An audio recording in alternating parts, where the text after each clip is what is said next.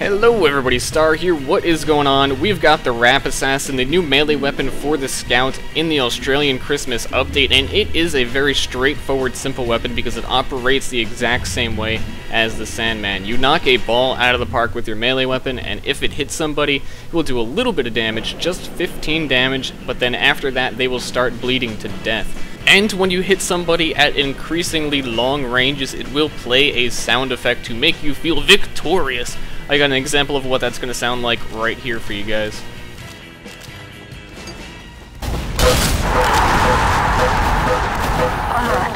One thing worth mentioning about the gun that I'm unsure about is whether or not it will deal additional bleed damage the longer range you hit somebody, or at least the duration of the bleed damage might be increased. Because when you hit somebody at long range with a Sandman, they will be stunned for a much longer duration. So I can only assume that is the case here, but I have not tested it, and I don't know of anybody who has tested it, but I figured that would be worth mentioning. We're also using that festive scattergun. It's got bright lights all over it. Just wanted to show you guys what that was all about. It's actually a little bit nostalgic for me because my family was in fact killed by a hobo with a shotgun on Christmas, so a shotgun with Christmas lights on it really brings back some memories for me. Of course, you can only get these items by opening naughty crates with keys during this winter season for Team Fortress 2. You can get any stock weapon, well, there's a variety of stock weapon, I don't want to say any because there are a few missing from that list, I do believe, and you can also get strange festive weapons, which are, of course, worth a little bit more because they count your kills, but that is the only way to get them.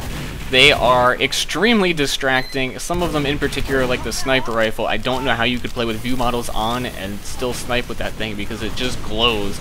But doesn't it make you feel fancy? This is what Team Fortress 2 is all about. Limited time promo items that cost money to buy with bright, shiny colors and aren't in any way different than the actual weapons you'd be using for free. But that is not important right now. What we're actually going to talk about real quick is the Wrap Assassin, because that's what this video is supposed to be about. It is very straightforward, as I mentioned earlier in this video. It doesn't do a lot of damage when it initially hits somebody. 15 damage is not a big deal, though I was killing people with it more often than I expected to. Uh, usually it's very difficult to get a kill with the Sandman, but for some reason, I don't know, I think I was just getting lucky, to be honest with you. And it's a bad weapon. It's not good, but at the same time, it's worth using because scout melee weapons in general aren't good weapons, so you're not giving up much to use this. And in regards to the Sandman, the Sandman effect is way better. Stunning people is amazing, but you lose some health for using that, and it's really easy for soldiers to kill you with one rocket. With this gun, the only downside is that when you hit somebody with it, you actually use the melee weapon to hit somebody, it'll only do 11 damage because it has 70% weapon re damage reduction on it. And who cares? Like, when are you going to run up to hit somebody with your bat as a scout? You have a pistol, you have a shotgun. Every once in a while the opportunity arises, but if you're in that situation, you messed up. You probably missed a lot of shots with your scattergun, and things aren't going that well to begin with.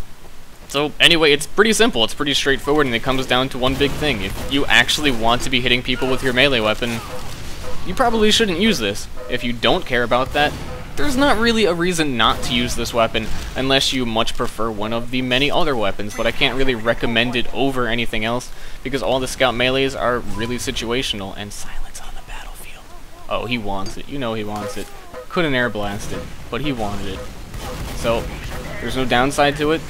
It's a viable option. It does a little bit of damage at ranges where your scattergun won't be doing much. If you've got decent aim with it, you know, it's okay, go for it. Why not? It's not overpowered. It's not underpowered. It just sort of exists. Catch you guys later.